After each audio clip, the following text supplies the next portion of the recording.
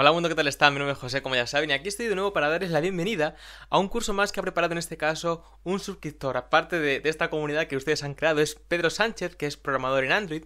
Y bueno, pues este curso que, vamos a ver es acerca de eh, inyección de dependencias en Java. Así que en este primer vídeo veremos qué, qué es eso, qué es la inyección de dependencias, qué ventajas presenta y comenzaremos viendo un ejemplo sencillo. Todo el curso estará orientado a Android porque Pedro pues es programador en Android y bueno pues aquí lo tienes en este primer vídeo y aprovecho para decirles que si alguno de ustedes quiere también participar y aportar conocimientos en alguno de los temas que todavía no se han visto en este canal, pues pueden contactarme y con mucho gusto. Así que les dejo con Pedro y atención a inyección de dependencias. Hola, soy Pedro y voy a ser vuestro tutor en esta serie de vídeos sobre inyección de dependencia.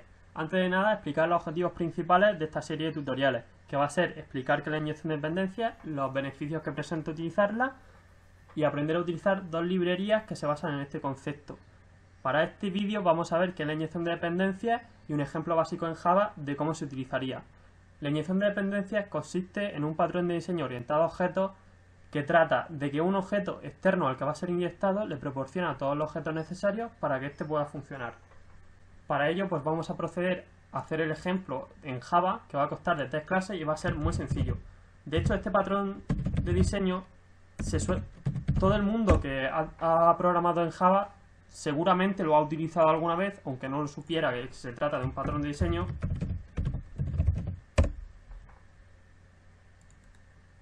Para este ejemplo vamos a hacer tres clases, una que va a ser el programador, que ya la he hecho, una con inyección y otra que vamos a hacerla sin inyección.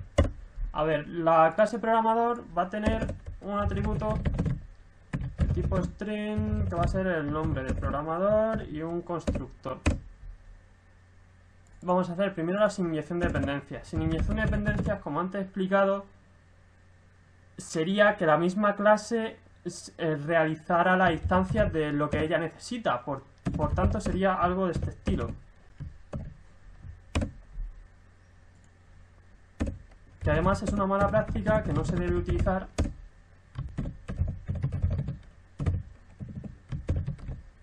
Esto sería una clase sin inyección de dependencia. Una clase con inyección de dependencia sería algo así. Que sería una, un atributo, por ejemplo, programador, para hacerlo exactamente igual que la otra, que haga lo mismo, pero en este caso el constructor sería con el objeto, al que eh, se le pasaría el objeto en el constructor, también podemos hacer un constructor vacío si queremos, sería algo similar a hacer un constructor vacío y pasárselo por setters. Al fin y al cabo estaríamos inyectando igualmente las dependencias que necesita, da igual pasárselo en un setter o en un constructor.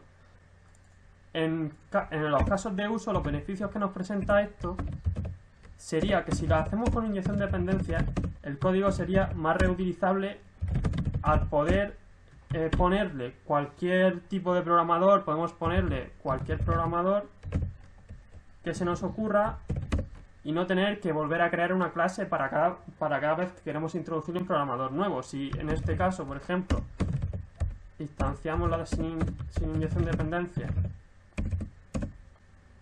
y quisiéramos ponerle un programador nuevo, pues tendríamos que ir directamente y crear otra clase. En este caso, si quisiéramos hacer un programador, esa, eh, una clase que fuera exactamente igual, pero con un programador distinto, solo, no, solo tendríamos que cambiar la instancia de programador que le pasamos. Podemos ponerle aquí, por ejemplo, mi nombre, Pedro, y pasarle, y pasarle otro programador y sería código reutilizable, que es una buena práctica. Pues vamos a ver, en, en los siguientes vídeos vamos a ver cómo se utilizan unas librerías que están basadas en este concepto y nos van a permitir utilizar código reutilizable que va a ser muy útil para hacer testeo y al mismo tiempo nos van a ahorrar a la larga muchísimo código.